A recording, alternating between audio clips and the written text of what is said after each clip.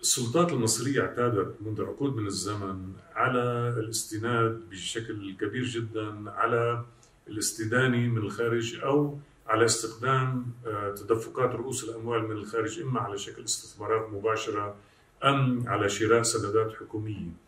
آه، هذا الأمر عاد إلى الواجهة منذ تولي الرئيس السيسي المنصب من ثمان سنوات وهناك صار في ازدياد لأنه في آه، تركيز شديد من قبل إدارة السيسي على المشاريع العملاقة آه، واللي ما عم تعطي مردود اقتصادي أو أو مالي مباشر وسريع.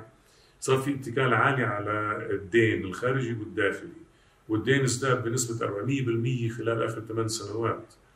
آه، ومن أجل تمويل الدين ومن أجل أيضا دعم الجنيه المصري ودعم الاقتصاد المصري هناك اتكال على جذب آه، رؤوس الأموال الاجنبيه عن طريق عرض فائدة يعني نسب فوائد مرتفعة جدا على آه، إيداع الأموال ليس يعني كاستثمارات في الصناعة التحويلية أم بالزراعة أم بالخدمات بل آه، استثمارها بسندات حكومية قصيرة الأجل.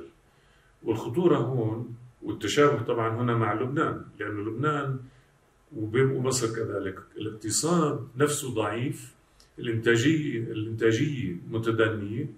آه، هناك تراجع مستمر من خمس سنوات في الاستثمار الخاص المحلي والاستثمار الخارجي أيضا بتدني وبتراجع من خمس سنين. وبالتالي آه، الدين وأيضا آه، الإيداع المالي القصير الأجل في مصر مش مسنود بإنتاجية اقتصادية. ومن هنا مصر لما بتعرض أعلى أو تقريبا أعلى نسب الفائدة على الاستثمارات المالية بالعالم باسره هذا بيعني إنه أول ما أي جهة أخرى ومثلا آه، البنك الاحتياطي الفيدرالي المركزي الأمريكي بأول السنة لما رفع الفوائد على الدولار الأمريكي آه، سارعت مصر برفع أيضا فوائدها حتى تحاول تمنع هروب رأس المال اللي كان موضوع في في مصر آه، هروبها إلى الخارج. وفعلا بقر المسؤولين المصريين بأنه 20 مليار دولار هربوا من مصر أو خرجوا من مصر منذ أول العام وحتى شهر أيار مايو. آه، يعني هذا هذا شيء أمر مخيف ومقلق لأنه احتياطي العمله الصعبه بمصر واللي في تباهي إنه وصل إلى رقم قياسي وهو 43 مليار دولار ثلث هذا الرقم هو استدانة من الخارج وبالتالي مصر عايشة على الأموال اللي من الخارج دون ما يكون عندها الإنتاج المحلي والفائض المحلي لا تعود عن هالشيء. وهذا ما يشبه النموذج اللبناني بكل مخاطره.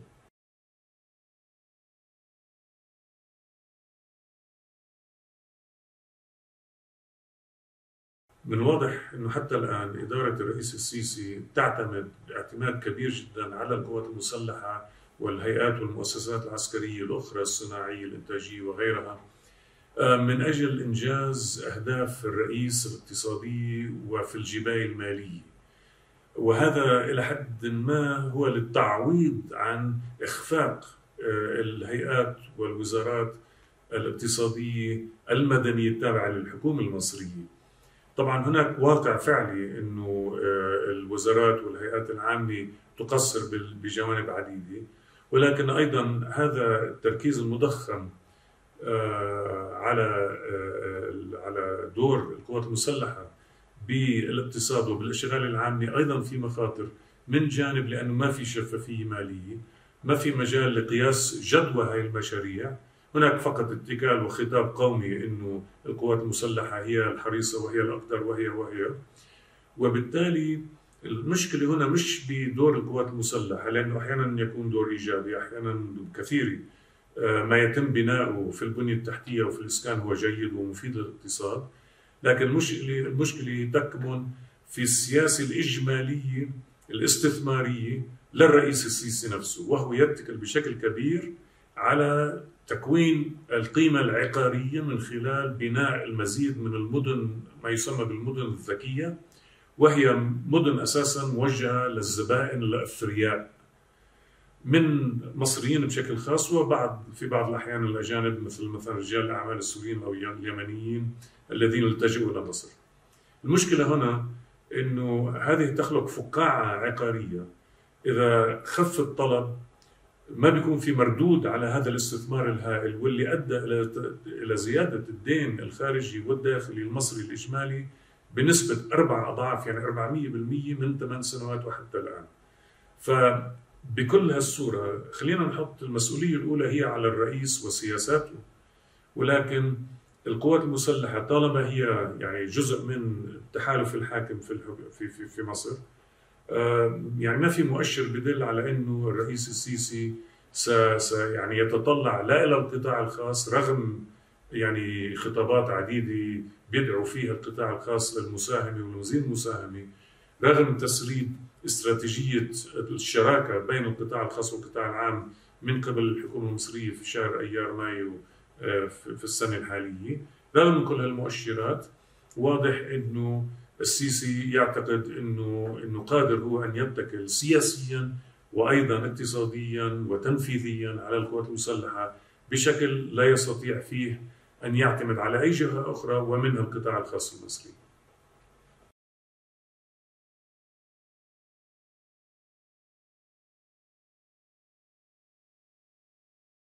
مشروع العاصمة الإدارية الجديدة الحقيقة قد يعني قد يثبت لاحقا أن هذا المشروع هو الذي وضع الإسفين في نعش آه، النموذج الاقتصادي الذي يتبعه آه، الرئيس السيسي في مصر.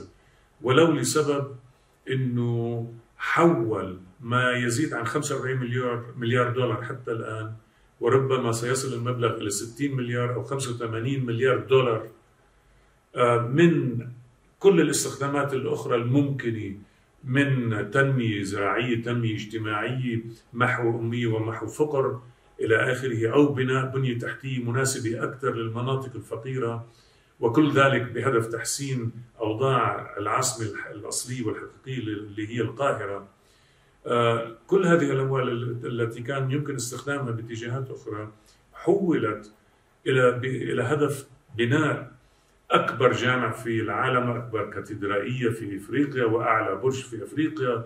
وكل هالأمور اللي فيها يعني نوع من حب الظهور والاستعراضية.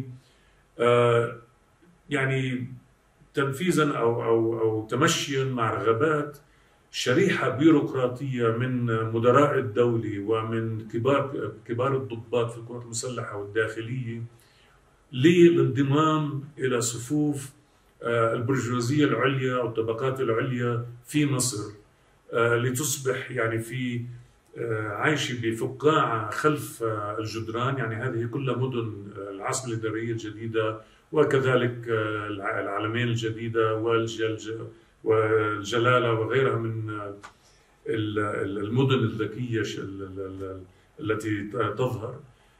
كلها مسورة والعاملين فيها اللي, بي اللي بينظفوا يعني واللي بيكنسوا واللي بيعمروا واللي كذا آه، يعني بيتم استخدامهم إلى المدينة العاصمية المدينة العاصمة الإدارية الجديدة ومنها مساء من مناطق أخرى آه، مخصصة لهم للسكن فيها. يعني العاصمة ستكون هي فقط للناس الحلوين والأثرياء والكبار الموظفين. ففي يعني تصور لمستقبل مصر لا يمت بصلة إلى وضع 60 أو 70% من الشعب المصري اللي هو إما عند خط الفقر أو قريب منه. آه، وفي وطبعا في اعتقاد هون كامل بأنه هذا هو آه، الطريق للازدهار الاقتصادي لمصر. وبل على العكس نشوف انه هذا المشروع حتى الآن أضاف وربما يعني بشكل حاسم إلى مشكلة الدين المصري التي قد حقيقة أو التي أوقعت الآن مصر في أزمة مالية حادة آه، تؤدي ربما إلى نوع من الانهيار المالي تماما.